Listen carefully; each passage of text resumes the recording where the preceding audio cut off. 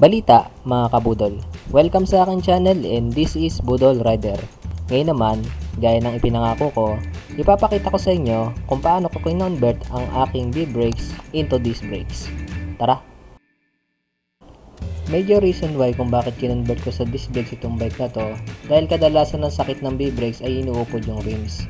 Kaya nung meron naman ako spare hub, naisip ko na i-convert sa disc brakes at ito ang proseso sa paggawa. So una, ipwesto yung caliper dun sa rotor at i-secure ito sa pamamagitan ng pagpindot sa brake lever at talian ito ng rubber band o anuman na pwedeng at pagkatapos gumupit ng karton para sa pattern ng D-stubs. Pagkatapos butasan at tapos mag-trace ng pattern sa karton and then gupitin ito ayon dun sa nakuwang pattern. Pagkatapos nito, gumawa ng mga konting pag adjust sa paggugupit sa pattern para makuha yung pinaka tamang hugis. So habang ginugupit natin yung pattern, mag special mentions muna tayo.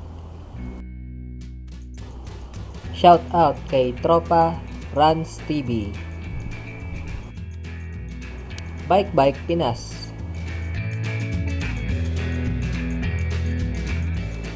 Trail Master.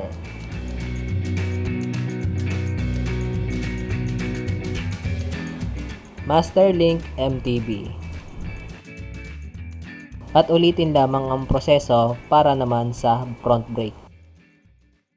Babala. Ang susunod na proseso ay rated SPG.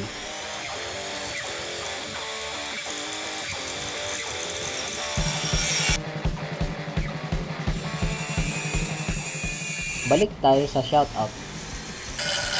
J. Garon Bars. JD Madali.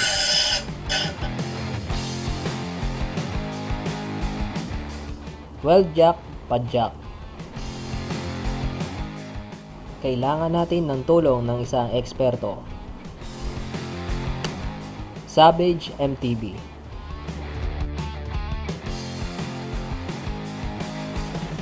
Harold Ramirez.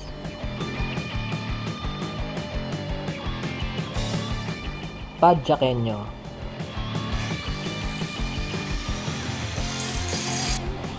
Jengski TV. Cycling Chef.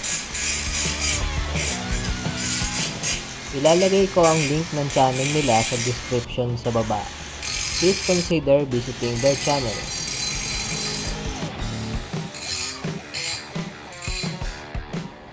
And this is the moment of truth. Testingin natin.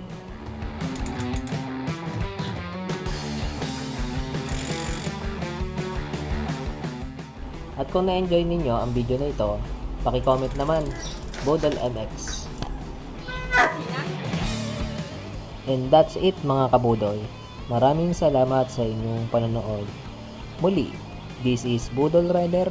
Hanggang sa susunod na budulan.